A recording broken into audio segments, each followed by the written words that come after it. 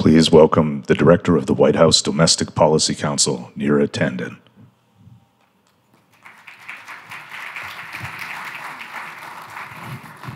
Good morning, everyone. It's really a great honor to be with you here. And as Director of the President's Domestic Policy Council, I have the great privilege of overseeing the White House's policy work on Native affairs. This is critical work for the President, and therefore it is critical work for us. And we are lucky to have our Senior Policy Advisor for Native Affairs, Liz Reese, lead our work. Liz, would you stand up?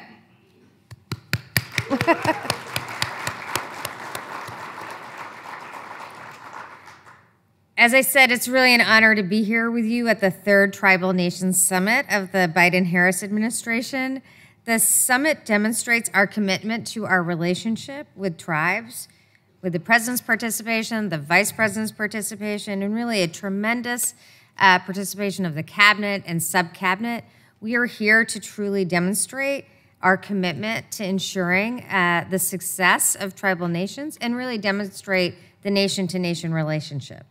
I just want to say, uh, take a moment to say how grateful we are uh, for Secretary Haaland's le leadership in not just leading the summit, but her work day to day, uh, month to month, year to year to ensure the, the success of our relationship and really drive not just the Department of Interior, but agencies across government uh, with White House partnership to essentially make sure we're doing everything we can uh, to ensure the success of tribal nations. As my co-chair of the White House Council on Native American Affairs, I'm, proud, I'm proud to work alongside her on these issues and just to say she's just been an extraordinary leader uh, and one the president deeply relies on on these issues. And that is why, uh, and, and, and really her focus has been the nation to nation relationship as it has been the president's. And that's what I want to really talk to you about today, because when we think through the nation to nation relationship, it really boils down to one word respect. Respect for tribal leaders, respect for tribal governments, and respect for tribal nations.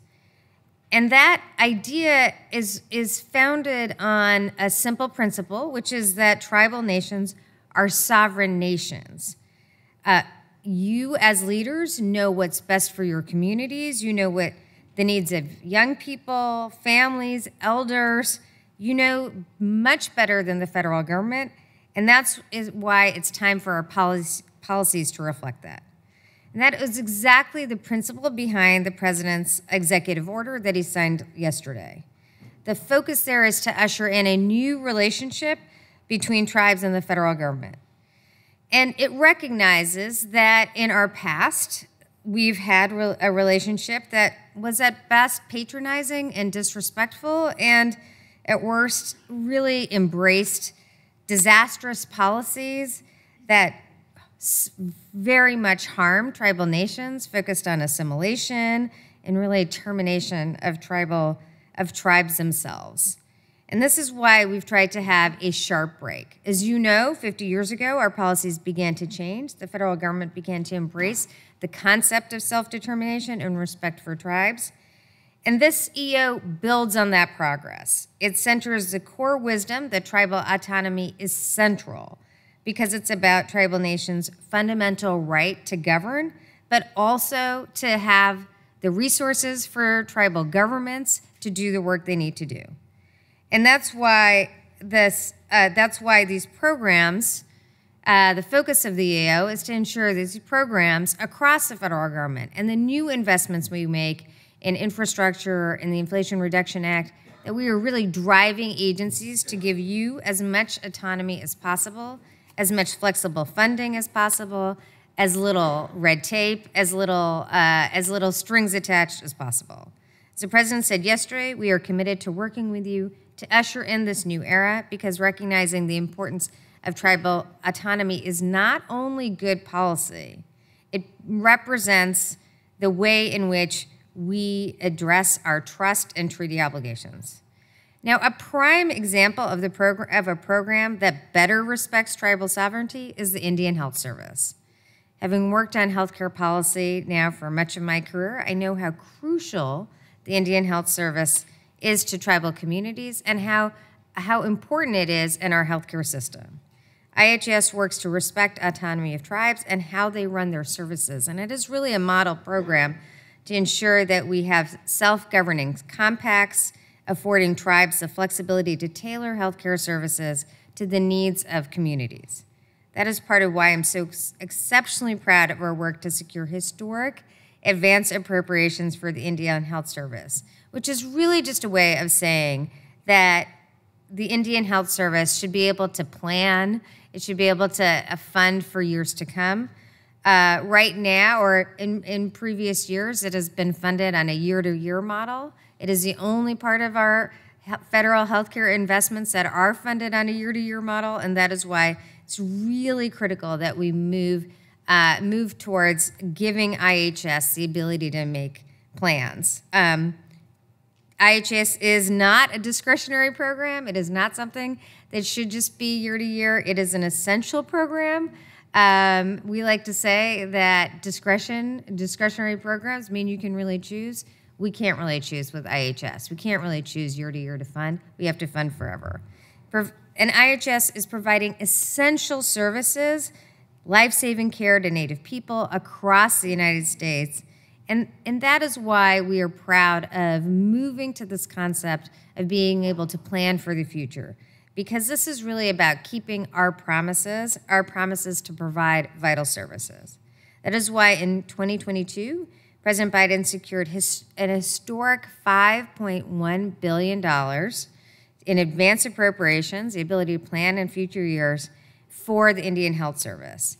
And that is critical funding um, that we need to ensure continues in the years to come. As a result, the doors of IHS facilities remain open even in the event of a government shutdown. That is really critical because uh, we know that we face con- congressional threats year to year, month to month often. This historic funding also gives IHS long over- overdue funding stability and predictability. Indian hospitals can, play, can plan ahead, hire doctors, buy supplies, and instead of surviving essentially from paycheck to paycheck from the federal government as institutions, there's real job security for people at IHS, IHS doctors, nurses, and staff. We're not done though. This year, the President's FY24 budget provides an additional $3 billion for the Indian Health Service for a total of $8 billion, really historic funding.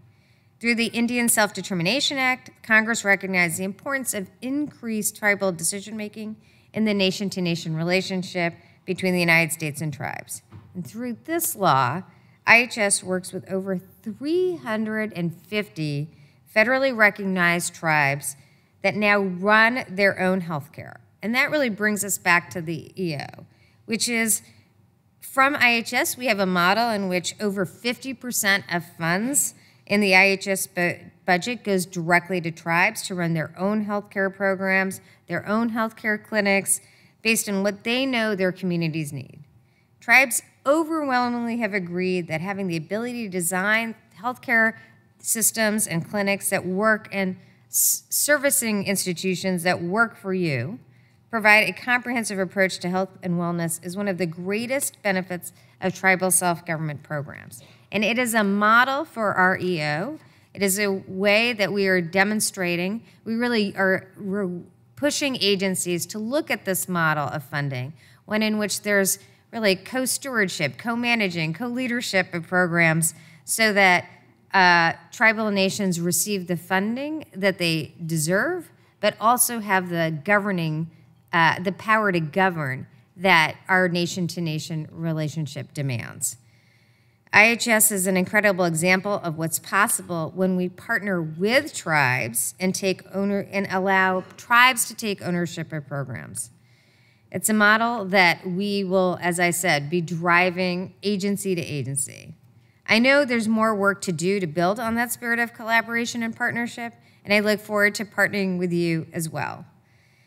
Just to step back, I think from the perspective of the Domestic Policy Council, we were really proud of the work over the last several years to uh, take on specific issues uh, of concern, but also really infuse our focus on the nation to nation relationship across the government, whether it's through how we look at public lands, it- whether it's how we're investing new uh, dollars from the infrastructure law, the CHIPS Act, uh, the IRA Act, and uh, the Inflation Reduction Act, but it's also fundamentally how we look across government to ensure that we are providing uh, the autonomy that is the basis of respect for the nation to nation relationship.